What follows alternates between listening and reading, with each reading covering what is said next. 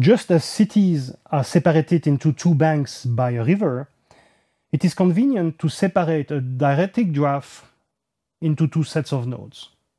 And this is called a cut. So we have a directed graph with a set of nodes n, a set of arcs a, and the incidence function phi. A cut gamma is defined as an ordered partition of the nodes into two non-empty sets. One that is called M, which contains a subset of the nodes, and the second one which is all the other nodes, so the n minus m. And we assume that the set M here is non-empty.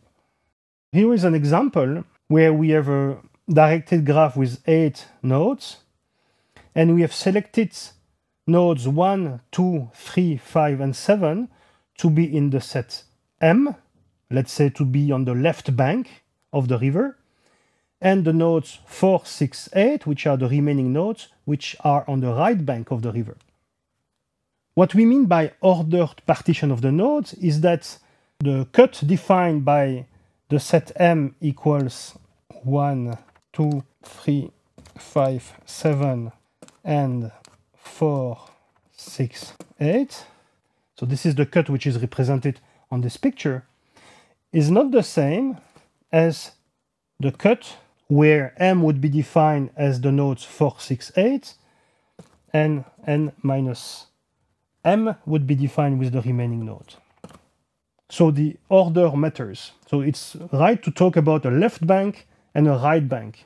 If the river would be flowing in the other direction, the role of the left and the right would be reverse, and it would not be the same. So this is a cut.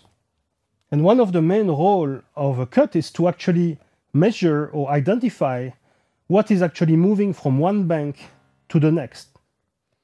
And therefore, we look at bridges. That's what we would do on a river in a city.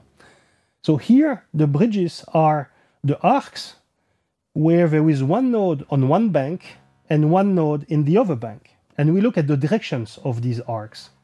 So we will call forward arcs all the arcs ij such that i is in the left bank, which means in set M, and j is on the right bank, which means not in set M.